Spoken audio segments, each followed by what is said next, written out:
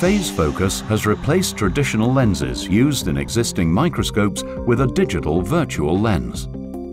This works by illuminating a sample with a laser, electron or X-ray beam. When this beam is scattered by a sample, diffraction patterns are formed. Phase Focus has developed a digital method to translate these diffraction patterns into quantitative images. We call this the Phase Focus Virtual Lens.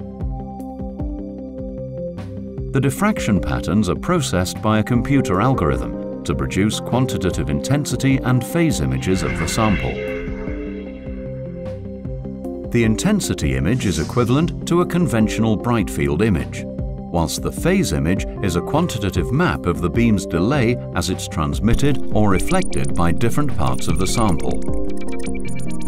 These two types of images enable analysis of transparent, translucent, reflective or opaque samples.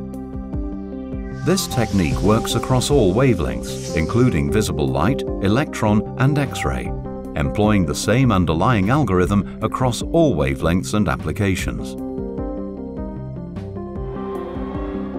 Typically, the user will define an area of interest of the sample. The beam passes across the area of the selected region in an overlapping grid array. Diffraction patterns are recorded from overlapping areas of the specimen and combined using the phase focus virtual lens algorithm to produce the quantitative image data. As the processing of the image data happens within a computer, the focusing can be accomplished post-capture, and the virtual lens can remove typical aberrations associated with traditional lens-based systems.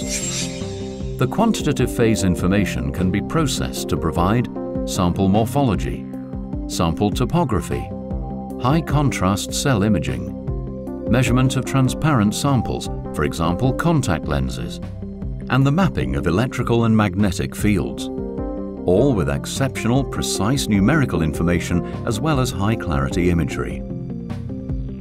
The benefit of phase information is widespread and is being used for many applications. Examples include label-free live cell imaging, ophthalmic lens metrology,